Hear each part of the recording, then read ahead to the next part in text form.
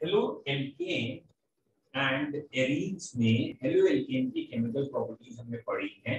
That is nucleophilic substitution reaction SN1 SN2 main point था SN1 reaction में carbocation intermediate बनता है और टर्शी ज़्यादा रिएक्टर है। और SN2 रिएक्शन में इंटरमीडिएट नहीं होता ट्रांजिशन स्टेट होती है वन डिग्री ज़्यादा रिएक्टर है बाकी अंतर आपको मालूम है कि SN1 रिएक्शन में दो प्रोडक्ट यानी रेसिमिक मिक्सचर बनता है और SN2 में एक प्रोडक्ट रिएक्शंस की अगर बात करें तो पहली रिएक्शन है कि एल्काइल हैलाइड से आप अल्कोहल बना सकते हैं। कैसे कैसे अल्कोहल बनाएँगे? एक्वस वजह से रिएक्ट करके या मॉइस्ट Ag2O से रिएक्ट करके एल्काइल हैलाइड से ईथर बना सकते हैं, या तो ड्राई Ag2O से रिएक्ट करेंगे, या फिर रोना विलियमसन रिएक्शन RONA से रिएक्शन करेंगे सोडियम एपॉक्साइड एल्काइल हैलाइड से साइनाइड्स बना सकते हैं। एसीएन से रिएक्शन करें। और ये साइनाइड्स देन एसिड में चेंज हो जाते हैं हाइड्रोलिसिस रिडक्शन करके प्राइमरी अमीन और इस मेथड में एक कार्बन बढ़ जाता है। तो it is a good method to increase one of the carbon alkyl halide के दूसरे आइसोसाइनाइड बना सकते थे, अगर हम AgCN से रिएक्शन करें। और AgCN के रिडक्शन से सेकेंडरी अमीन बनती थी। एल्काइल हैलाइड की रिएक्शन पोटेशियम नाइट्राइड से करें तो पोटेशियम नाइट्राइट नाइट्राइट ही बनेगा एल्काइल नाइट्राइट लेकिन सिल्वर नाइट्राइट से कर रहे नाइट्रोइट इसी उसमें अगर हम आगे बढ़ते जाएँ, कि अगर suppose alkyl halide alkyl halide की रिएक्शन अब हम कह रहे हैं बच्चों मेटल्स से देख लेते हैं मेटल्स ठीक है? किस किस मेटल से कर सकते हैं क्या क्या बनता है। तो रिएक्शन विद मेटल हमारी एक हेडिंग है that is reaction with metal अगर एल्काइल हैलाइड की मेटल से करते हैं ओके आई होप सो कई बच्चे एकदम तैयार हैं इस पॉइंट में। Wurtz reaction reaction definitely Wurtz of Franklin सभी को याद होती है। दैट इज़ क्लास 11th में हमने पढ़ी है। तो पहले हम वही लिख रहे हैं रिएक्शन विद सोडियम तो अगर हम सोडियम से रिएक्शन करेंगे तो क्या बनेगा? तो बच्चों, इसमें डिटेल में जाने की ज़रूरत नहीं है, क्योंकि ये आपने इलेवेंथ में बड़ा डिटेल में पढ़ा है। और इस रिएक्शन में हायर एल्कीन्स बनते हैं and the reaction is named as Wurtz reaction ये वाली रिएक्शन कहलाती है Wurtz reaction what's Wurtz reaction when alkyl halide is reacted with sodium in dry ether ether की प्रेजेंस में, अरे भाई, आप भी जानते हो कि सोडियम एक हाईली रिएक्टिव मेटल है तो एयर या वाटर में तो नहीं ले सकते। तो ईथर की प्रेजेंस में ये रिएक्शन कराते हैं हेलोजन निकल जाती है और आर आर एल्केन बनते हैं। रिएक्शन विद सोडियम में शायद आपको याद आ गया हो कि it is good for symmetrical members जहाँ इससे इससे दो अलग अलग है ना, दोनों जुड़ गए। सिमेट्रिकल तो बन सकता है, यानी जो बना है उसका आधा करो तो दोनों आ जाए but it is not very good for unsymmetrical members. Unsymmetrical member बनाने के लिए सपोज़ तीन कार्बन का एल्केन बनाना है तो एक मीथेन लेना पड़ेगा, एक methane methyl chloride ethyl chloride और इससे बेटा मिथाइल और इथाइल तो मिक्सचर बनेगा, क्योंकि दो मिथाइल क्लोराइड भी आपस में कोलाइड कर सकते हैं, दो मिथाइल भी, एक मिथाइल इथाइल तो जो प्रोडक्ट बनेगा, वो तीन का मिक्सचर बनेगा। मिथाइल को कोलाइड करेंगे तो बनेगा इथेन दो इथाइल क्लोराइड करेंगे तो बनेगा ब्यूटेन और एक प्रोपेन तो प्रोपेन बनाने के लिए दो और गए और एल्केन्स के बॉइलिंग पॉइंट बहुत पास में है and it is very difficult to separate them तो इन्हें सेपरेट करना मुश्किल हो जाता है। तो व्हाट्स द पॉइंट कि this method is good for symmetrical alkane but not very good for unsymmetrical alkane. So what's Wurtz reaction? When haloalkanes are reacted with sodium in dry ether, then higher alkanes are obtained. When haloalkanes are reacted with sodium in dry ether, then higher alkanes are obtained. कहने का मतलब अगर ये है बेटा ethyl chloride और इसकी reaction sodium से कही गई है तो ये इथाइल क्लोराइड हम दोबारा लिख देते हैं जस्ट समझाने के लिए और ये ट्वाइस NaCl अलग हो गया C2H5 और C2H5 जुड़ गए, और ये प्रोडक्ट आपका बन गया। That is the major product main product that is butane तो this is Wurtz reaction class eleventh में ही आपने इसके बाद एक पढ़ी थी रिएक्शन कि अगर सोडियम की जगह आप जिंक ले लेंगे in place of sodium if zinc is use then this reaction is named as Frankland would reaction की जगह नाम हो जाता है। फ्रैंकलैंड रिएक्शन ठीक है? तो आपको क्या ध्यान रखना है? फ्रैंकलैंड रिएक्शन क्या है?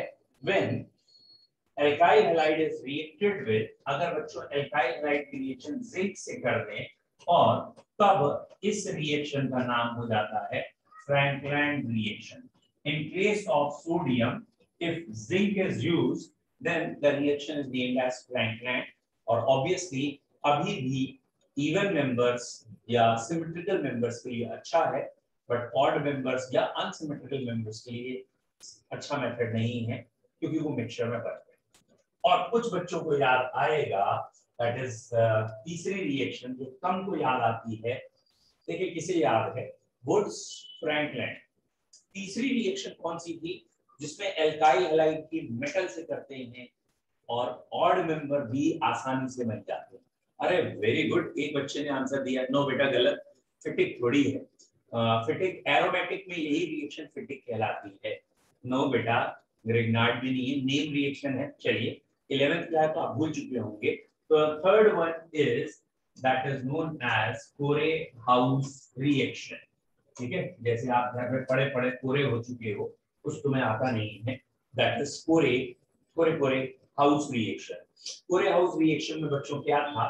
कि एल्काइल हैलाइड हमने लिया, उसकी रिएक्शन पहले लिथियम से कराई, फिर लिथियम से कराने के बाद कॉपर आयोडाइड से कराते पहले स्टेप में लिथियम है बच्चों, दूसरे स्टेप में कॉपर आयोडाइड है, और ये बन जाता है R two C U L I और फिर इसकी एक और एल्काइल हैलाइड से कराते हैं तो ये चेंज हो गया आर आर डैश आ जाता है what I want to say is just that कि जब आप पूरे हाउस रिएक्शन कराते हैं तो ऑड मेंबर भी बन जाते हैं एक्सेप्ट मीथेन क्योंकि मीथेन में एक ही कार्बन है, वो किसी में नहीं बनेगा। और ऑड मेंबर को सेपरेट नहीं करना पड़ता, ये इसका मैकेनिज्म है। तो व्हाट्स द पॉइंट बच्चों? कि when alkyl halide is reacted with lithium then copper iodide then some other alkyl halide चाहे वही हो, चाहे कोई दूसरा हो then R R dash any higher alkanes are obtained and in this reaction, odd or unsymmetrical member can also be prepared without mixture. तो Corey House reaction इतनी important इस साल नहीं है और ये इलेवेंथ स्टैंडर्ड में टीचर्स ज़्यादा फोकस करते हैं कोरे हाउस रिएक्शन ओके ना एल्काइल हैलाइड की आज हम रिएक्शन पढ़ रहे हैं। मेटल से पहली हमने रिएक्शन पढ़ी सोडियम से तो ये बन गया पहले आर एन ए बनता है, फिर एक और आर एक्स रिएक्ट करता है आर आर एल के हायर एल के ऐसे ही जिंक से करें तो पहले आर टू जेड एन बनता है, और फिर जब इसको फिर से ट्रीट करते हैं तो आर आर एल्केन बनता है। And third is Corey House कि आप लिथियम से फिर कॉपर आयोडाइड से, फिर एक और एल्काइल हैलाइड से करते हैं तो हायर एल्केन बनते हैं। कोरे हाउस इन तीनों में बेटर है, क्योंकि इसमें ऑर्डर इवन दोनों बन जाते हैं, बिना मिक्सचर मीथेन जो फ़र्स्ट मेंबर है, वो किसी से नहीं बनेगा, चाहे वुड्स हो, चाहे फ्रैंकलैंड हो, चाहे कोरे हाउस क्योंकि इसमें हायर मेंबर यानी दो आर कम से कम दो कार्बन बनने हैं इसलिए next method next reaction with metal जो एक बच्चों ने भी यहाँ बताया भी है कि अगर हम इसकी रिएक्शन मैग्नीशियम से कर दें तो ये एक कंपाउंड बनता है। Very good that is joker of organic chemistry also called as Grignard reagent. It is also very important for convergence, जिसे हम कहते हैं Grignard reagent. बच्चों ये भी याद रखना है वेरी इंपॉर्टेंट और एल्काइल हैलाइड बना के मैग्नीशियम से रिएक्शन करके रिग्नाट बन जाते हैं। मतलब अगर आपके पास सपोज़ अल्कोहल्स हैं अल्कोहल को आपने PCl5 से रिएक्शन किया एल्काइल हैलाइड बन गया फिर मैग्नीशियम से किया ग्रिग्नाट बन गया। और ग्रिग्नाट से बहुत सारी चीज़ें बनती हैं। एल्केन बन सकता है ऑब्वियसली ग्रिग्नाट से एल्डिहाइड कीटोन बनते हैं एसिड्स बनते हैं तो Grignard is very good case of uh, whenever you want to increase the carbon yeah even same carbon. So it is a very good converting agent. Conversion में बहुत काम में आएगा तो ग्रिग्नार्ड रिएजेंट भी हम यहाँ से बना सकते हैं। नेक्स्ट अगर मैं इसमें बात करूँ रिएक्शन विद मेटल्स में ही कि अगर इथाइल क्लोराइड ले लीजिए और सोडियम लेड एलॉय से रिएक्शन करें। ये स्पेशली इथाइल क्लोराइड की रिएक्शन है। तो ये प्रोडक्ट बनता है C2H5 whole 4 PB शायद आपको मालूम हो it is tetraethyl lead I hope so कुछ बच्चों को पता हो, बाकी बैलेंसिंग लिख देंगे। It is tetraethyl lead and it is, it was used as a important anti-knock compound petrol engine में पहले से ऐड करते थे पेट्रोल में। जिससे कि स्कूटर या बाकी गाड़ियों की जो नॉकिंग होती है, जो एक शार्प मेटलिक नॉइस होती है, जैसे बुलेट की अपनी एक नॉइस है, ऐसे बाकी गाड़ियों की पिस्टन की नॉइस है, उसको कम करता था तो ऑब्वियसली व्हीकल की लाइफ बढ़ती थी। बट ये जो लेड है, ये हाईली पॉइजनस इन नेचर है तो एयर में लेड आने से प्रॉब्लम होती थी। और अब पेट्रोल पंप में बड़ा बड़ा लिखा जाता है, दूर से अनलेडेड पेट्रोल मतलब उसमें ये कंपाउंड नहीं मिलाया जा रहा। जो पहले मिलाते थे तो ये होगी रिएक्शन विद मेटल अब बच्चों, देखो जितना अभी तक पढ़ा है मैक्सिमम मतलब जितनी रिएक्शन हमने अभी तक पढ़ी है, उसके बेसिस पे भी कई कन्वर्जन है। और ऑर्गेनिक केमिस्ट्री अगर आपको अच्छी करनी है तो आपको कॉन्फिडेंस जो आता है, वो कन्वर्जन से आता है।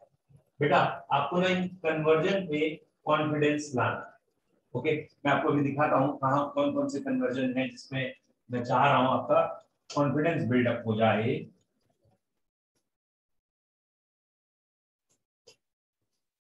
बच्चों, ये देखिए, ये ऑर्गेनिक केमिस्ट्री में सपोज़ मैं जो पेज खोला पहले उससे ही अगर दिखा दूँ, वैसे इसके पिछले पेज में ही पढ़े हैं, लेकिन मैं चाहूँगा, आप चाहे यहाँ से 19 क्वेश्चन वेरी इंपॉर्टेंट इसके पिछले 19 क्वेश्चन के बेटा 20 20 पार्ट्स है इसमें कुछ अभी आगे के भी हैं मतलब एरोमेटिक वाले भी हैं, और ये रहे सिंपल कन्वर्जन या ये क्वेश्चन नंबर 14 तो ऑर्गेनिक केमिस्ट्री में क्वेश्चन नंबर 11 तो ये 11 14 और 19 ये, इन तीन क्वेश्चन को तो आप टिक कर लीजिए, और ये तीनों के तीनों क्वेश्चन वेरी वेरी इंपॉर्टेंट में है, ये आपको करके दिखाने हैं। ठीक है? चलिए, अभी मैं पहले आपको सिंपल क्वेश्चन से स्टार्ट करा रहा हूँ क्वेश्चन नंबर फोर्टीन से। ठीक है? क्वेश्चन नंबर फोर्टीन एक सेकंड कितना है। क्वेश्चन नंबर फोर्टीन आपको साफ़ साफ़ दिख जाए इसके लिए मैं थोड़ा सा इसे एलोबरेट करना चाह रहा हूँ। थोड़ा सा ठीक है? अब आपको fourteen question I hope so okay नहीं लिखा अब अब सारे आ रहे हैं। वेरी गुड तो क्वेश्चन नंबर फोर्टीन को अब हमें देखना है, बच्चों। ओके दैट इज़ फोर्टीन पहला क्वेश्चन बहुत इजी इजी रिएक्शन है। पहले आ, मैं इसलिए भी साथ में देख रहा हूँ कोई रिएक्शन अगर आपकी बची तो पूरी करा सबसे पहली रिएक्शन है देखें कौन बच्चा बताता है। अरे वेरी गुड बहुत बढ़िया बेटा आयुष। यहाँ जो प्रोडक्ट बनेगा वो है फेंक्लिस्टन रिएक्शन और प्रोडक्ट का नाम होगा वेरी गुड आइडोप्रोपेन तो फेनकिल्स्टन रिएक्शन और ये आइडोप्रोपेन बनेगा जिसे फेनकिल्स्टीन रिएक्शन भी कहते हैं वेरी गुड बहुत बढ़िया। ओके सेकंड कौन बच्चा बताएगा। अरे वाह। चलिए ठीक है सेकंड में भी आपको कॉपी में लिखा देता हूँ। मैंने नहीं लिखा ये है। मैं लिखा देता हूँ, लेकिन वेरी गुड कई बच्चों को क्लियर है कि ये लिखा है अल्कोहलिक केओएच तो हमें मालूम है अल्कोहलिक केओएच जब आता है तो एल्कीन्स बनती हैं। और बिल्कुल सही आंसर है इस बच्चे का, जिसने भी आंसर ये लिखा है।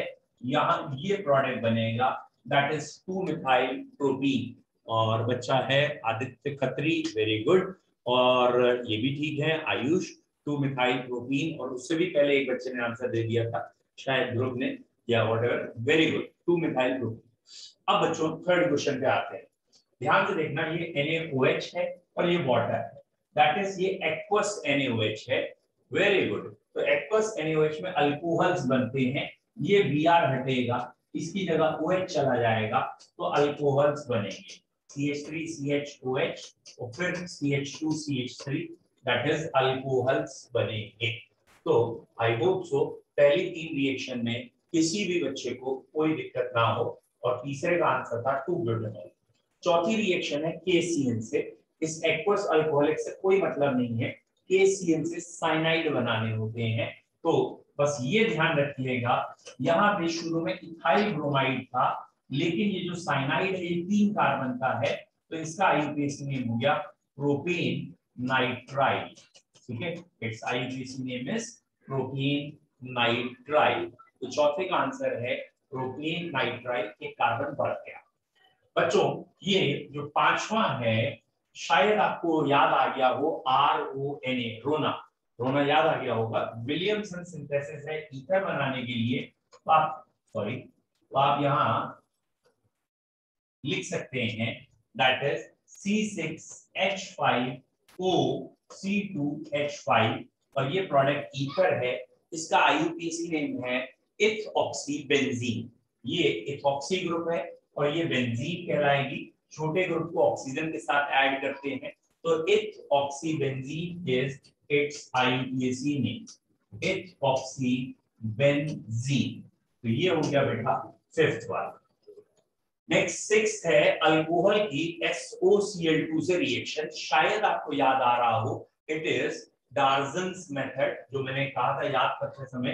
टार्जन करके याद कर लो। और ये प्रोपाइल अल्कोहल है, ये तीन कार्बन का अल्कोहल है। और कहा था SOCl2 की रिएक्शन ऐसे याद रखिए। ये SO2 अलग, ये HCl अलग। तो ये तीन कार्बन के साथ यहाँ पे Cl आ जाएगा और ये मेथड कुछ बेटर इसलिए होता है क्योंकि बाकी गैसेस उड़ जाती हैं।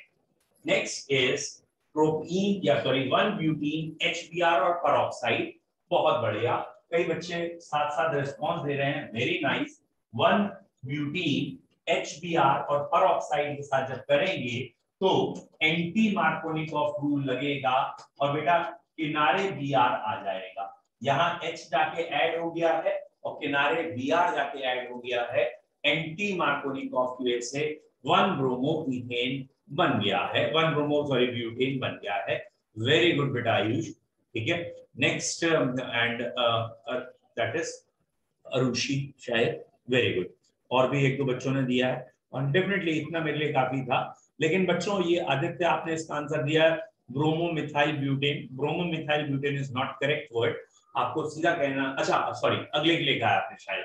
तो नंबरिंग आपको बोलनी थी सॉरी आपने अगले के लिए कहा है। तो अगला है, ये दो कार्बन है, फिर डबल बॉन्ड है, फिर ये ऐसे था।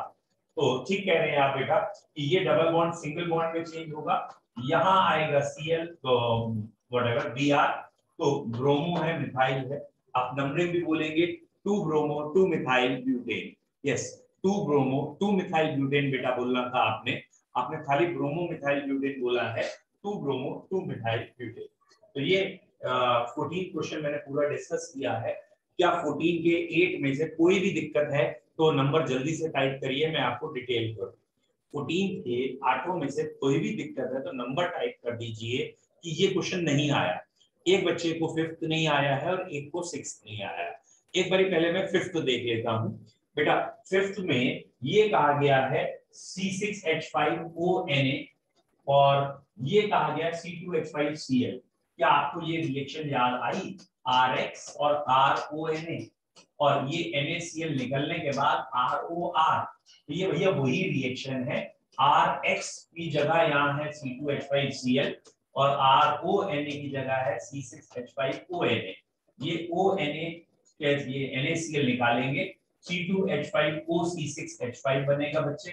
और इसका आईयूपीएसी नेम होता है इथॉक्सी बेंजीन वो तो आईयूपीएसी से कोई मतलब ही नहीं है यार। ठीक है? अच्छा गुड तो एक बच्चे ने सिक्स पूछा है। आ, सिक्स पूछा है बच्चे आपने। ये है आपकी अल्कोहल की रिएक्शन SOCl2 से। तो बेटा अल्कोहल ये तीन कार्बन का है। तो ये तीन कार्बन का अल्कोहल समवॉट ऐसे था। और SOCl2 जिसे हम थायोनिल क्लोराइड कहते हैं, इसे याद रखने के लिए मैंने कहा ऐसे लिख सकते हैं।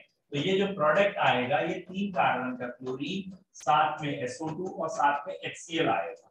और ये दोनों यहाँ उड़ जाएँगे, क्योंकि ये गैसेस हैं, और इस मेथड का एक नाम भी था Darzens method that is this method is very useful because जो प्रोडक्ट बाकी बनते हैं, वो सेपरेट नहीं करने पड़ते that are very you can say these are gases product उड़ जाते हैं तो हमें सेपरेशन नहीं करना सिक्स क्लियर है बेटा आपको। बेटा जो भी क्वेश्चन पूछा करो, वो तैयार रहा करो ओके या यस या ये सब लिखने की। चलिए ठीक है फिफ्थ और सिक्स जिन्होंने पूछा था, उन्हें क्लियर वेरी नाइस और किसी को दिक्कत नहीं। अब हम आते हैं थोड़ा सा लेवल बढ़ाते हैं, जिसे कहते हैं ना लिटिल बिट हायर लेवल चलिए लिटिल बिट हायर लेवल में पहला क्वेश्चन है ethanol to one butyne I hope so ये अभी आपको नहीं आया होगा। इसलिए ये मैं आपको अलग से ही बता देता हूँ। Ethanol to one butyne very rare question है। ये है बेटा इथेनॉल C2H5OH और बच्चों आपको बनाना है one butyne CH3 CH2C triple bond CH ये बनाना है।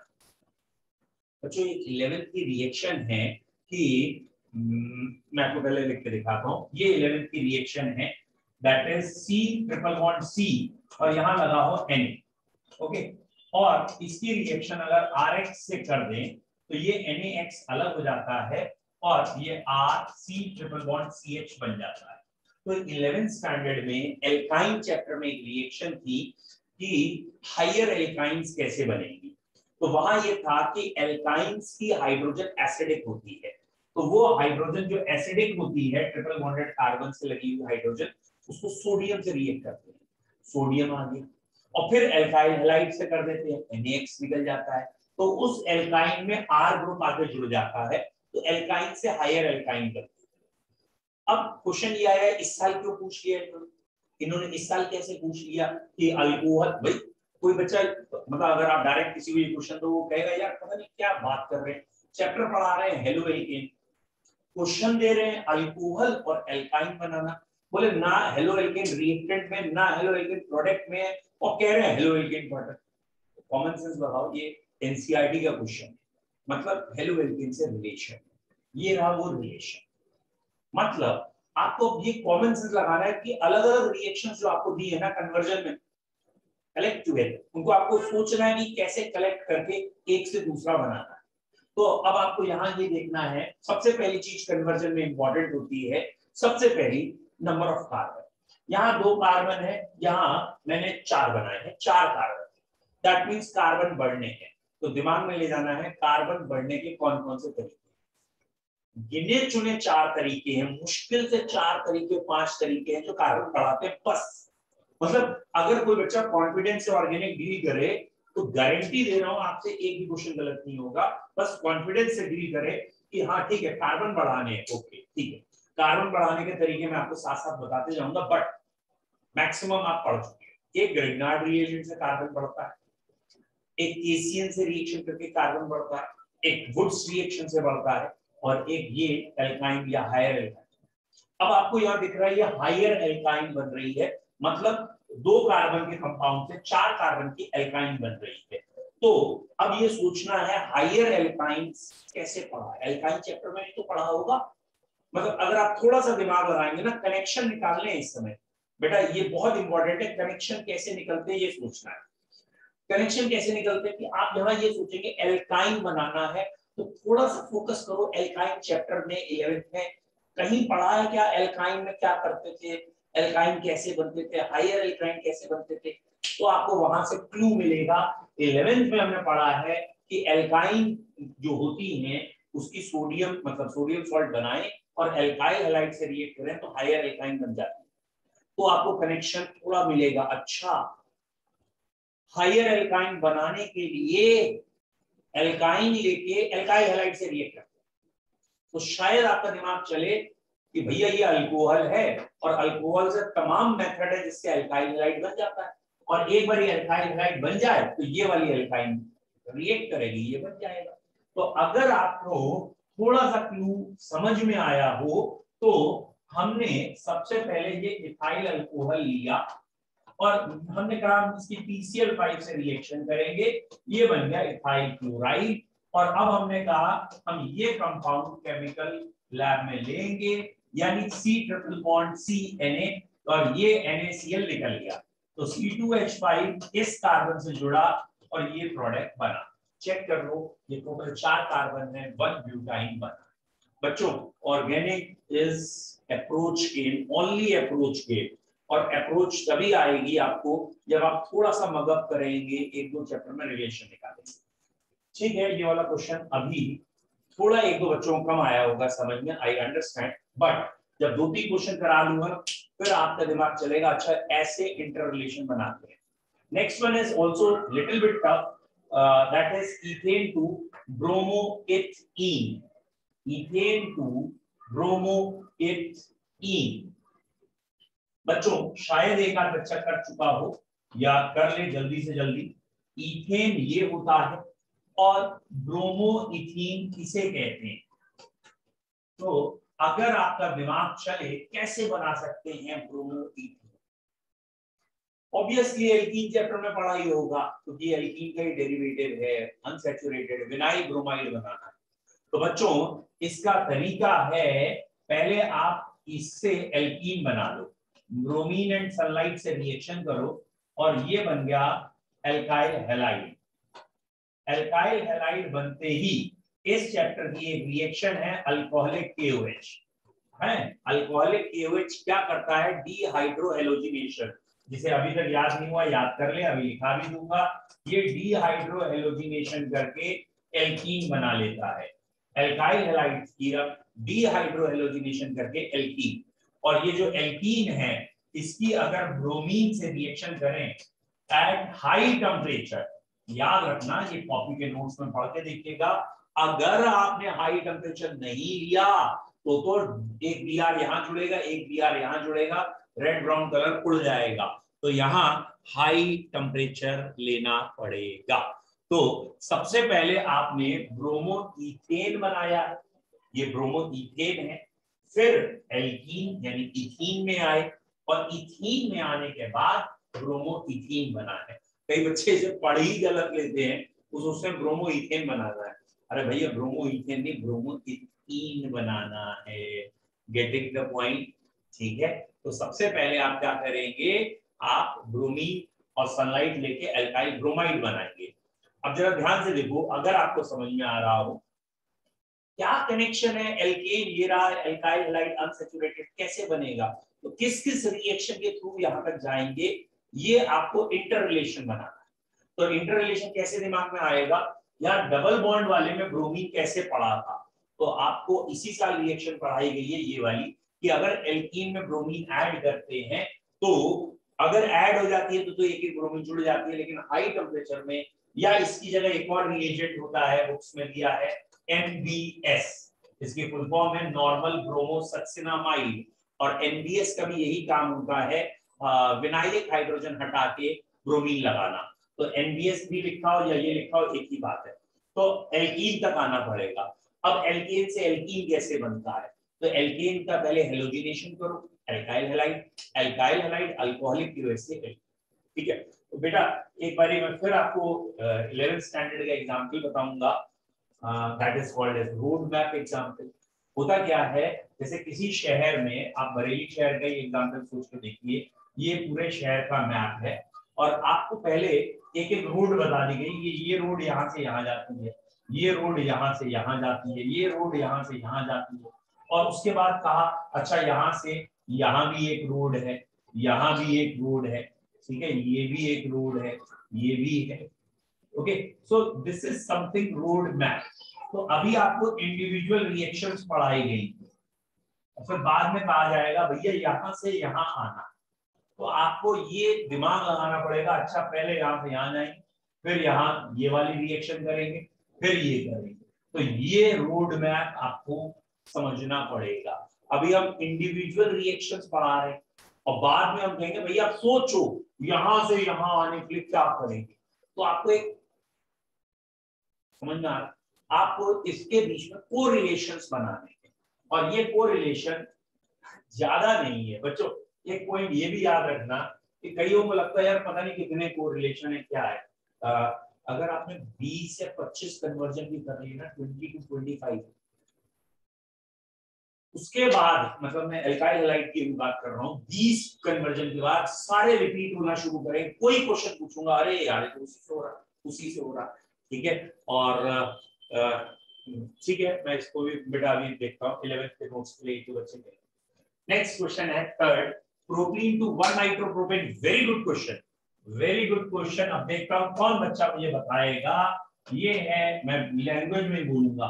Propene to 1 nitropropane propene to 1 nitropropane देखें, किस बच्चे का दिमाग तेज चलता है? ओके लेट्स स्टार्ट बताओ बच्चों प्रोटीन से वन नाइट्रोप्रोपेन, जल्दी। फास्ट चलिए, अब मैं जब इसका आंसर बताऊँगा ना मैक्सिमम कहेंगे अच्छा ये तो हमें आता था, अब अप्लाई नहीं हुआ। बहुत बढ़िया वेरी गुड बेटा, अगला स्टेप बताओ। वेरी गुड बेटा, आदित्य सेकंड स्टेप का रिएजेंट बताओ। अरे वेरी गुड संजना। हाँ वेरी नाइस तो ये दो बच्चों ने आंसर मुझे बताया है।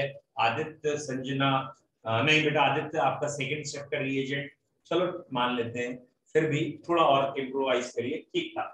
वेरी गुड संजना इन बच्चों ने आंसर सही दिया है। हाँ आदित्य, अब आंसर सही आपका। तो ये है प्रोटीन और प्रोटीन में इन बच्चों ने सही समझा है। अगर एच बी आर एड करें पर ऑक्साइड की प्रेजेंस में तो ये बन जाता है वन ब्रोमोप्रोपेन ठीक है?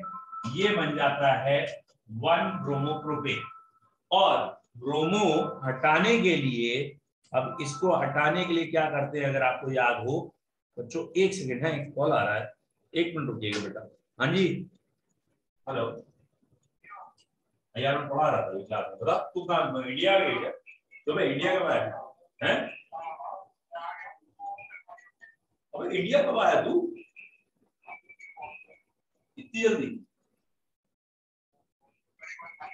Okay okay. तो बच्चों, ये आ गया आपका ब्रोम और अब अगर आपको याद है नाइट्रो लाने के लिए सिल्वर नाइट्राइड से रिएक्शन करते थे और प्रोटीन था। सिल्वर नाइट्राइड से रिएक्शन करते थे, यहाँ नाइट्रो आया। तो ये भी रिएक्शन आपने पढ़ी और ये भी रिएक्शन आपने पढ़ी बस को रिलेशन बनाना था कि पहले ब्रोमीन आ जाए और ब्रोमीन किनारे ही आएगी परोक्साइड में क्लोरीन क्लोरीन से नहीं होगी एच बी आर पे परोक्साइड लगता है। और फिर एजीएनओ2 क्या करता है? नाइट्रो ग्रुप ले आता है एएनओ2 नहीं एजी ठीक है? नेक्स्ट अगला। बच्चों, अगली रिएक्शन है हमारे पास। ये अभी आपने पढ़ी नहीं है तो इसको अभी हम डिस्कस नहीं करते। नहीं नहीं नहीं सॉरी पढ़ ली। टोलिन टू बेंजाइल अल्कोहल पढ़ ली पढ़ ली पढ़ ली। देख लेते हैं, आपको याद आते नहीं आते मैंने पढ़ा दी। इस कंपाउंड को कहते हैं टोलिन और इस कंपाउंड को कहते हैं बेंजाइल अल्कोहल अब प्रॉब्लम ये है, कई बच्चों को ना नाम नहीं पता होते तो दिक्कत आती है। वेरी इजी आपको मैंने पढ़ाई है, अगर आपको ध्यान हो, कि टोलिन की रिएक्शन हेलोजन से करो सनलाइट की प्रेजेंस में। अगर हेलोजन से करते हैं तो साइड चेन एलिमिनेशन होता है। पढ़ाया पढ़ाया। अगर FeCl3 होगा तो और पैरा बनता। सनलाइट होगा तो बेंजाइलिक पोजीशन पे रिएक्शन होगी। और ये बेंजाइलिक पोजीशन एक्वस KOH के साथ Cl हटा के OH ले आएगा। तो ये हो गया बेटा दिस पर वेरी गुड बिल्कुल सही आयुष बेटा। दैट इज़ आपने सही कहा कि पहले क्लोरिनेशन कर देंगे सनलाइट की प्रेजेंस में। और अगर सनलाइट नहीं ली एफिसियल लिया तो ऑर्थो और पैरा का मिक्सचर बन जाता है। और जब एक बार बेंजाइल क्लोराइड बन गया तो एक्वस से अल्कोहल में चेंज होगा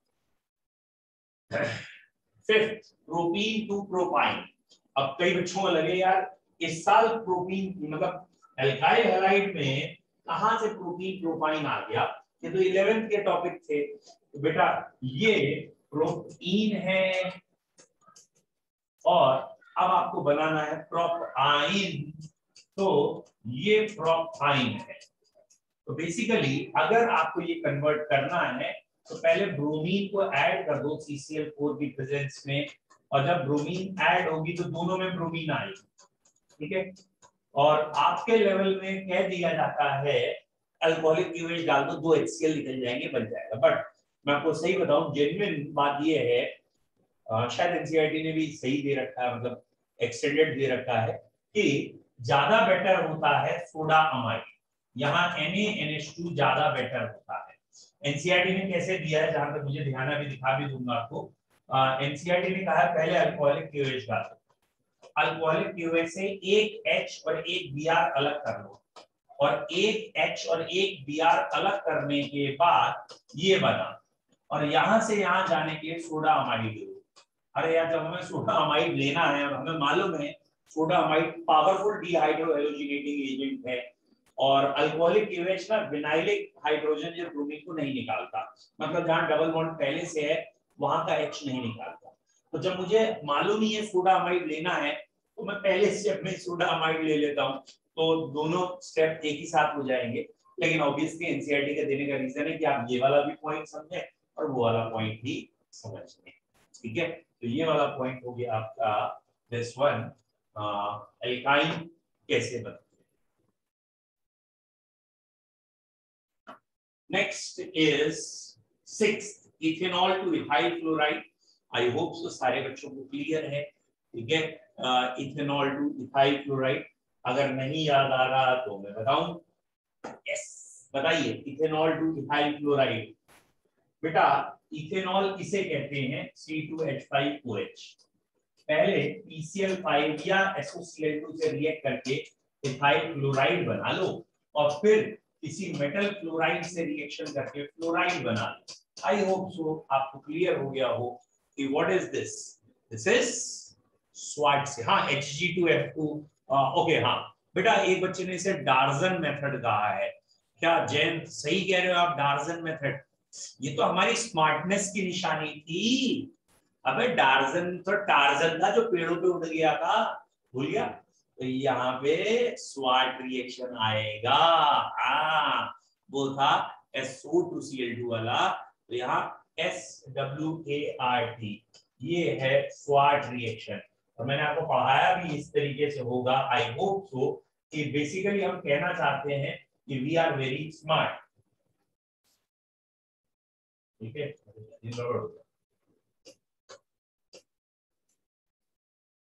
पूरा इकट्ठे आ रहा है ठीक है अभी तो नहीं आ रहा दोबारा लिख के देखता हूँ ये है स्वाट रिलेशन और है स्वाट लेकिन हम कहते हैं ठीक है हम स्मार्ट हैं. S M A R T smart है. लेकिन हम लोगों को नहीं दिखाना चाहते कि हम स्मार्ट हैं. तो हम इसको रिवर्स करके रख देते हैं. रिवर्स करके रखते हैं.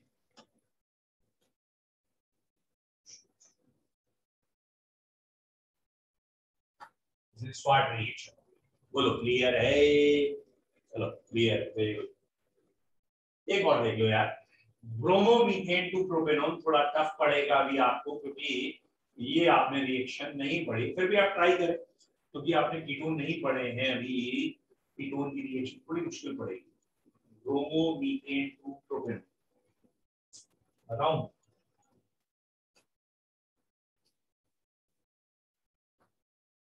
ये है ब्रोमोमीथेन और ये है प्रोपेनॉन ठीक है? देखो, इन दो कार्बन बढ़ रहे हैं और आपको दो कार्बन बढ़ाने वाला और कीटोन बनाने वाला मेथड चाहिए। ठीक है? करीब थोड़ा सा टफ है अभी आपके लेवल से। फिर भी आप कोशिश करेंगे तो अच्छा रहेगा।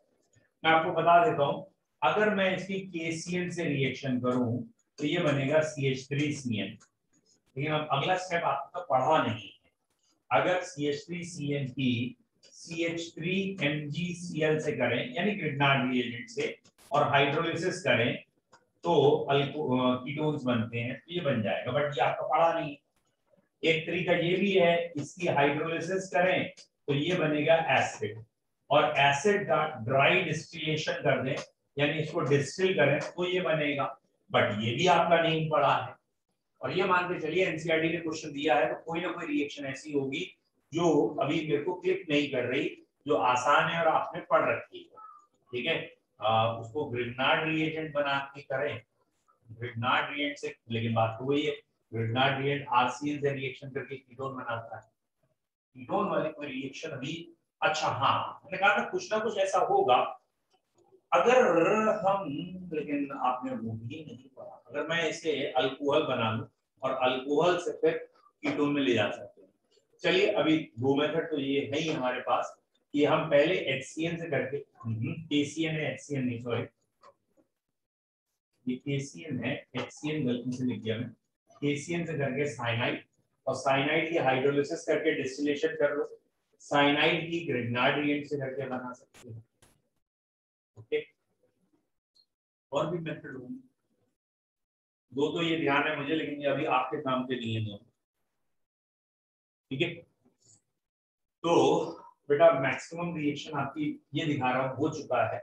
ये वाला तो आपको समझ में आ गया, ये भी आ गया। ठीक है? वन ब्यूटीन से टू ब्यूटीन वन क्लोरोब्यूटेन जो ऑक्टेन ये सारी रिएक्शन आपकी हो चुकी है। तो आप मान के चलिए अल्काइल ऑलमोस्ट मतलब हेलो एल्केन ऑलमोस्ट कंप्लीट है। हेलो एल्केन अभी हेलो एरीन्स की बात नहीं कर रहा हूँ। हेलो एल्केन अभी बेंजीन एंड डेरिवेटिव बचा है। वो हम कल करेंगे ठीक है बच्चों? आज इतना